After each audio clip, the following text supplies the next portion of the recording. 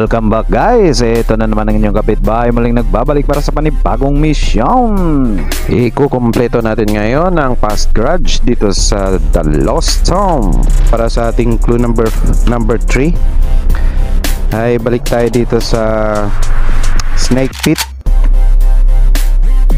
Balik tayo dito kay Shong Soyo. Okay, so fast travel na natin yan.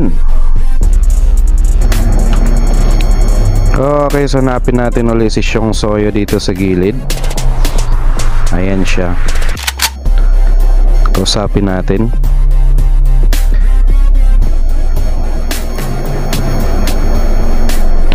Okay, so ayun natin binigay na sa atin ng ating clue number 3. So check natin dito sa ating mystery.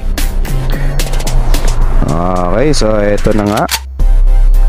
At natapos na yung ating clue number 3.